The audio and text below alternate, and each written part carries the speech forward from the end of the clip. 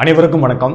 இந்த வீடியோவில் நம்ம எதை பற்றி பார்க்க போகிறோம் அப்படின்னா mathematics state statement of first of thermodynamics தெர்மோடைனமிக்ஸ்க்கு சில எக்ஸாம்பிள்ஸ் கொடுத்து அதோட மேத்தமெட்டிக்கல் ஸ்டேட்மெண்ட்ஸை நம்ம பார்க்க போகிறோம் அதாவது எக்ஸாம்பிள்ஸோட மேத்தமெட்டிக்ஸ் ஸ்டேட்மெண்ட்ஸை நம்ம பார்க்க போகிறோம் ஃபர்ஸ்ட் ஆஃப் தெர்மோடைனமிக்ஸ்னா என்ன? அது எப்படி வந்துச்சு? அந்த ஃபார்முலா எப்படி வந்து டெரிவ் பண்ணாங்க அப்படின்றத நம்ம லாஸ்ட் வீடியோவில் நம்ம பார்த்துருந்தோம். அதுக்கு முன்னாடி வீடியோவில் நம்ம இன்டர்னல் எனர்ஜியை கம்ப்ளீட்டாக நம்ம பார்த்துருந்தோம். இப்போ இந்த வீடியோவில் ஃபர்ஸ்ட் லாப் தெர்மோடைனமிக்ஸ்க்கு சில எக்ஸாம்பிள்ஸ் நம்ம பார்க்க போகிறோம் அது வந்து அது case one case two case three case ஃபோர்னு நம்ம ஃபோர் கேஸ் பார்க்க போகிறோம் ஓகேங்களா? எதை பேஸ் பண்ணி நம்ம பார்க்க போகிறோம் அப்படின்னா ப்ராசஸ் டைப்ஸ் ஆஃப் ப்ராசஸ் அப்படின்னு சொல்லி ஒரு வீடியோ நான் போட்டிருக்கேன். பழைய வீடியோவில் நீங்கள் போய் பார்த்தீங்கன்னா தெரியும் தெர்மோடைனமிக்ஸில் types of process cyclic process adiabatic process isobaric process isochoric process irreversible process process, process uh, isothermal process அப்படின்னு சொல்லிட்டு நிறையா ப்ராசஸ் நான் போட்டிருக்கேன். டைப்ஸ் ஆஃப் ப்ராசஸ் அது எதை பேஸ் பண்ணி இருக்கும் அப்படின்னு சொல்லிட்டு விளக்கமாக நான் போட்டிருக்கேன். அந்த வீடியோ நீங்கள் இன்னும் பார்க்காம இருந்தீங்கன்னா அந்த வீடியோ நீங்கள் பார்த்துட்டு வந்துருங்க. இந்த வீடியோக்கும் அந்த வீடியோக்கும் கனெக்டிவிட்டி இருக்கும். அதனால நான் சொல்கிறேன் uh, இப்போ இந்த வீடியோவில் ஃபர்ஸ்ட் ஆஃப் திரும்ப நிமிஷம் என்ன? என்னென்ன நான் சொல்லியிருந்தேன் பழைய வீடியோவில் எனர்ஜி கெனாட் பி கிரியேட் அதாவது அழிக்கவும் முடியாது ஆக்கவும் முடியாது. ஒரு டைப் ஆஃப் எனர்ஜியை இன்னொரு டைப் ஆஃப் எனர்ஜியாக மாற்ற முடியும் அப்படின்னு சொல்லி நான் சொல்லியிருந்தேன். இப்போ சைக் ஃபர்ஸ்ட் அதாவது ஃபர்ஸ்ட் லாப் தெர்மோடைனமிக்ஸ் என்ன அப்படின்னு சொல்லி பார்ப்போம். Delta is delta U is equal to delta is equal to Q plus W இங்கே டபிள்யூன்றது ஒர்க்கு கியூன்றது ஹீட்டு அப்சார்ப்ஷன் ஹீட் அப்சார்ப்ஷன் ஆனாலும் ஹீட் வந்து எமிஷன் அதாவது வெளியிட்டாலோ லிப்ரேட் ஆனாலோ அதை பேஸ் பண்ணி பாசிட்டிவ் நெகட்டிவ்னு சொல்லுவோம். ஒர்க் வந்து என்ன டைப் ஆஃப் ஒர்க் நடக்குது? ஒர்க் அப் எக்ஸ்பென்ஷன் நடக்குதா? இல்லை ஒர்க் அப் கம்ப்ரெஷன் நடக்குதா? அப்படின்னு சொல்லிட்டு அதை பேஸ் பண்ணி நம்ம பாசிட்டிவ் நெகட்டிவ் அப்படின்னு சொல்லிட்டு நம்ம சொல்லுவோம். இப்போ இது வந்து ஃபர்ஸ்ட் லாப் தெர்மோடைனமிக்ஸ் ஃபார்முலா இப்போ cyclic process case one first law தெர்மோடைனமிக்ஸ்க்கு நம்ம கேஸ் ஒன் பார்க்க போகிறோம் ஒரு எக்ஸாம்பிள் பார்க்குறோம் அப்படின்னு சொல்லி நீங்கள் நினச்சிக்கோங்க. சைக்ளிக் ப்ராசஸ் இப்போ இந்த சைக்ளிக் ப்ராசஸில் வந்து பார்த்தீங்க அப்படின்னா அந்த டைப்ஸ் ஆஃப் ப்ராசஸ்லாம் நான் சொல்லியிருப்பேன். சைக்கிளிக் ப்ராசஸ் நடக்குது அப்படின்னா ஒரு கம்ப்ளீட் சைக்கிள் நடக்கிறதா அர்த்தம். இந்த உணவு சங்கிலி அப்படின்னு சொல்லிட்டு நீங்கள் ஒன்று படிச்சிருப்பீங்க. ஒரு உணவு எங்கிருந்து ஆரம்பிக்குதோ மறுபடியும் அதே இடத்துக்கு அது வந்து நிற்கும் அந்த உணவு சங்கிலியில். அந்த மாதிரி தான் அந்த ப்ராசஸ் ஒரு சிஸ்டம் இனிஷியல் ஸ்டேட்டில் எவ்வளோ ப்ரெஷரில் எவ்வளோ வால்யூமில் எவ்வளோ டெம்பரேச்சரில் ஸ்டார்ட் ஆச்சோ அதே ஸ்டேட்டுக்கு அந்த ப்ராசஸ் நடந்து முடிஞ்ச உடனே கம்ப்ளீட்டாக மறுபடியும் வந்துடும் ஃபார் எக்ஸாம்பிளுக்கு நீங்கள் வந்து ஒரு சைக்கிளுக்கு காற்று அடிக்கிறீங்க காற்று அடிக்கும் போது இழுத்து அழுத்துவீங்க. இழுக்கும் போது அதுக்குள்ள என்ன ஆகும் காற்று ஏர் வந்து ஜென்ரேட் ஆகுது. எக்ஸ்பென்ஷன் ஒர்க் நடக்குது. மறுபடியும் நீங்கள் அழுத்தும் போது அந்த ஏர் வந்து சைக்கிளோட பம்ப் டயருக்கு போயிடும். ஸோ மறுபடியும் அது என்ன பண்ணும்?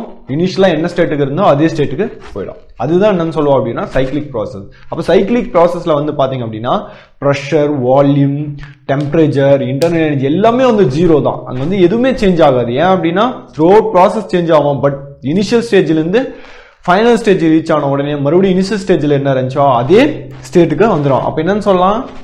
Delta U is equal to U equal to zero அப்படின்னு சொல்லிட்டு நம்ம சொல்லலாமா? Delta U is equal to zero அதாவது internal energy zero change in internal energy internal energy zero கிடையாது. Change in internal energy zero அப்படின்னு சொல்லிட்டு நம்ம சொல்லலாம்.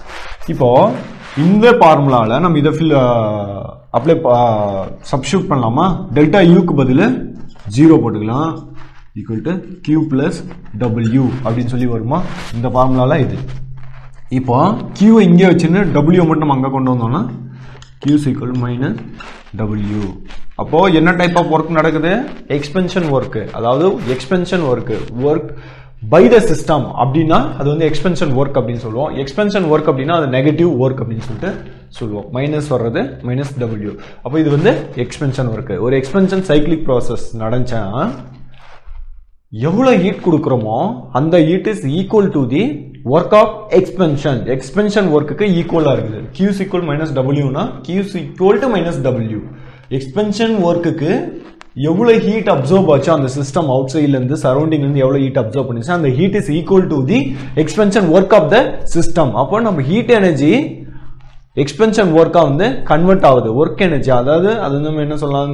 ஏதோ ஒரு டைப் ஆஃப் எனர்ஜி ப்ரெஷர் ஏதோ ஒன்று அந்த டைப் ஆஃப் எனர்ஜியாக வந்து அது வந்து கன்வெர்ட் ஆகுது. Energy is converted to the another type of energy இதுதான் சைக்கிளிக் ப்ராசஸில் நடக்கிற ஒரு ஃபர்ஸ்ட் லா ஆஃப் தெர்மோடைனமிக்ஸ் இப்போ ரெண்டாவது கேஸ் நம்ம பார்ப்போம்.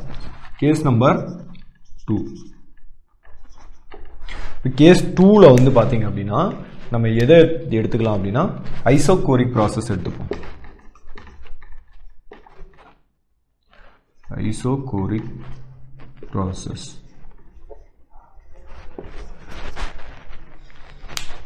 ஐசோகோரிக் ப்ராசஸ் இப்போ டைப்ஸ் ஆஃப் ப்ராசஸ்லாம் நான் சொல்லியிருக்கேன். ஐசோக்ரோரிக் ப்ராசஸ்னால் ஒரு ப்ராசஸ் ஒரு சிஸ்டமில் நடக்குது.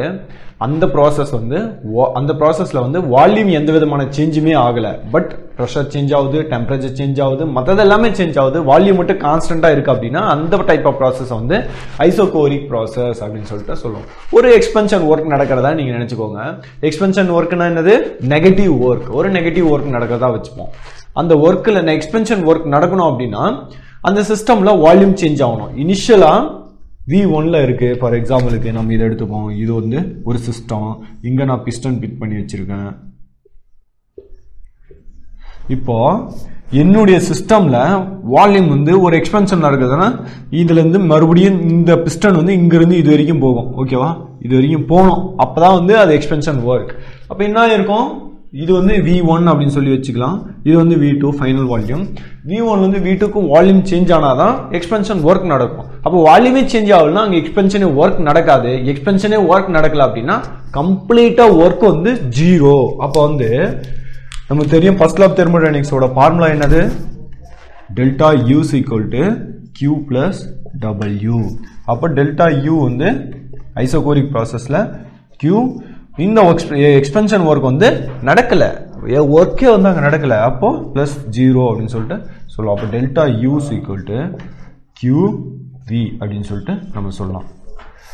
வின்றது என்னன்னா அட் கான்ஸ்டன்ட் வால்யூம் வால்யூமே அதாவது கான்ஸ்டன்ட் வால்யூமில் நம்ம எவ்வளோ ஹீட்டு அந்த சிஸ்டம்க்கு கொடுக்குறோமோ அந்த கம்ப்ளீட் ஹீட்டு எவ்வளோ ஹீட் நம்ம கொடுக்குறோமோ அந்த ஹீட்டு கம்ப்ளீட்டாக வந்து இன்டர்னல் எனர்ஜியாக கன்வெர்ட் ஆகுது. எந்த டைப் ஆஃப் ப்ராசஸில் ஐசோகோரிக் ப்ராசஸில் அங்கே எனர்ஜி லாஸ் ஆகலை. எனர்ஜி வந்து அழியவும் இல்லை கிரியேட்டும் ஆகல ஆனால் நம்ம எவ்வளோ எனர்ஜி ஹீட் எனர்ஜி கொடுக்குறோமோ அது வந்து கம்ப்ளீட்டாக வந்து இன்டர்னல் எனர்ஜி ஆஃப் த சிஸ்டமாக கன்வெர்ட் ஆகுது. Energy is not created nor நீ destroyed it is converted converted another energy இங்கே என்னது எக்ஸாம்பிளுக்கு அது? Heat energy is converted into the கம்ப்ளீட்டாக இன்டர்னல் எனர்ஜியாக கன்வெர்ட் ஆகுது. அது வந்து ஐசோகோரிக் ப்ராசஸ் அப்படின்னு சொல்லிட்டு நம்ம சொல்லுவோம். சைக்கிளிக் ப்ராசஸ் நம்ம பார்த்துட்டோம் ஐசோகோரிக் ப்ராசஸ் நம்ம பார்த்துட்டோம். அடுத்து வந்து கேஸ் த்ரீ பார்ப்போம். கேஸ் த்ரீக்கு என்ன டைப் ஆஃப் சிஸ்டம் எடுத்துக்கலாம் அப்படின்னா கேஸ் த்ரீக்கு அடியாபேட்டிக் ப்ராசஸ் நம்ம எடுத்துக்கலாம். அடியாபேட்டிக் ப்ராசஸ் ஒரு சிஸ்டமில் அடியபேட்டிக் ப்ராசஸ் நடக்கிறதா நம்ம வச்சுப்போம். அடியபேட்டிக் ப்ராசஸ்னா என்னது? ஆல்ரெடி நான் சொல்லியிருக்கேன். அடியபேட்டிக் ப்ராசஸ் அப்படின்னா அந்த சிஸ்டம்ல கம்ப்ளீட்டா ஹீட் வந்து கான்ஸ்டன்டா இருக்கும். ஒரு ப்ராசஸ் நடக்குது.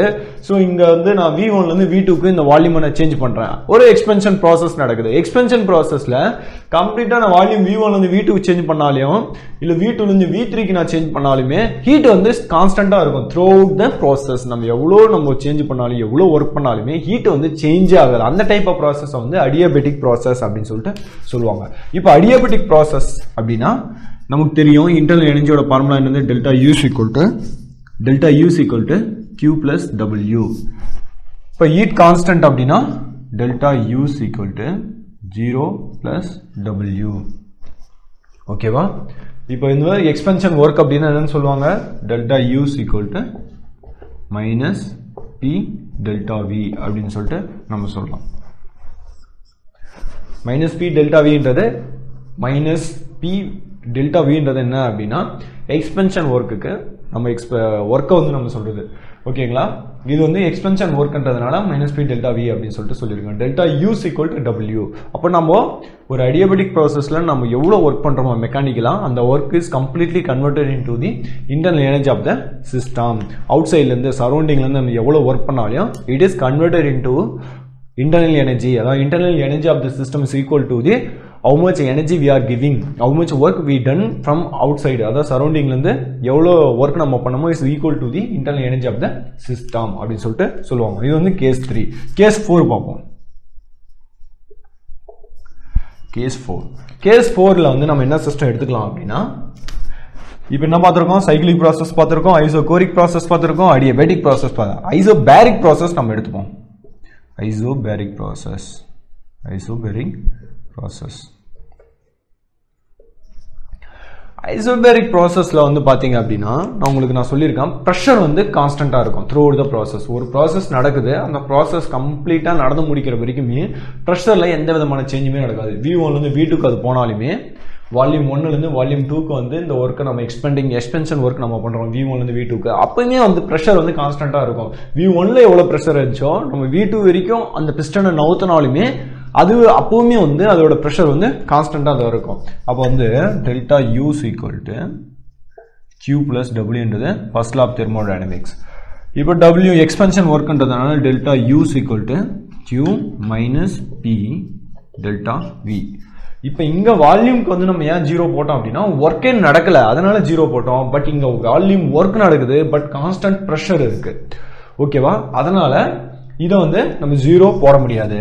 அது பதிலாக டெல்டா யூக்கு இந்த சைடு வச்சுக்கின்னு பி டெல்டா வியை வந்து இங்கே சைடு எடுத்துனோம்ட்டா கியூ இப்படின்னு வச்சுப்போம்.